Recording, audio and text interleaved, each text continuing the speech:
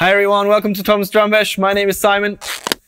And in today's episode, we try to get that great drum sound from the early 70s, including bands like Led Zeppelin, Deep Purple, and Black Sabbath. Let's go.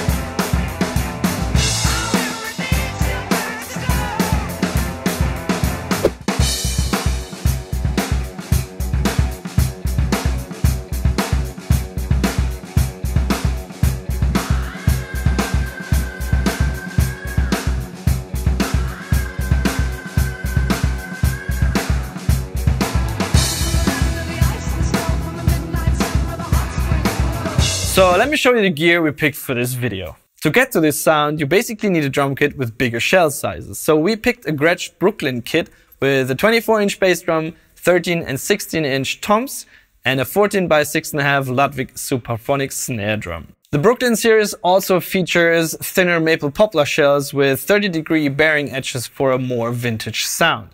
Obviously, Bonham and Paice played an even bigger drum set, but this is a standard shell set size with which you can get very close to the original sound, at least in my opinion. The cymbals. As John and Ian both play Paiste cymbals, we picked a mix of both worlds. So we have a 15 inch giant beat hi-hat, an 18 inch giant beat crash, a 22 inch Paiste 2002 ride, and a 20 inch Paiste 2002 crash. The drumheads are Remo's vintage coated Emperors on toms and a coated Ambassador on the bass drum, which is muffled with a felt strip on both sides. Let's talk about the tuning. We basically have three different ones. We have John Bonham's tuning with a snappy snare drum, high tuned, open, almost like timpani sounding toms, and a pretty tight tuned, open sounding bass drum.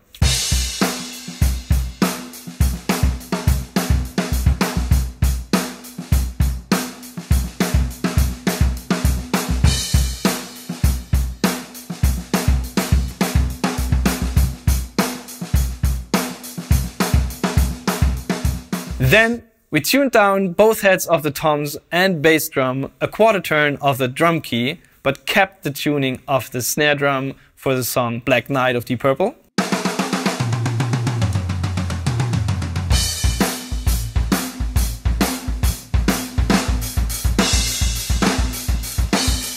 For Highway Star, we tuned the snare drum up and we took off the resonant head of the bass drum, put in a lot of muffling but didn't touch the tuning.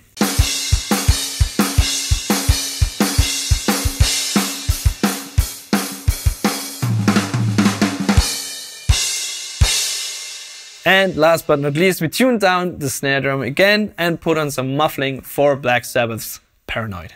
What microphones did we use? The kick sound mainly comes from a Sennheiser E902 with a little blend of Neumann's U67, but you can basically use any dynamic bass drum microphone and a large condenser microphone. For the snare drum, we are using an MD421 from Sennheiser on top and no bottom mic. The toms have a little bit of the direct sound of Sennheiser's E904 microphones, but only for the Deep Purple songs. The overheads are two Neumann U87s, but also any large condenser microphone will do the job. And the placement is called the Glyn Johns technique, in which you put one overhead over the snare drum and the other one onto the floor tom side. But both microphones have to have the same distance to the snare drum. Alright guys, that's it for today. I hope you enjoyed this video. If you have any questions, please leave a comment and let us know what era we should feature in one of the next episodes. Don't forget to subscribe to the channel, hit the bell, and I will see you again in one of the next videos. Take care. Simon out. Bye bye.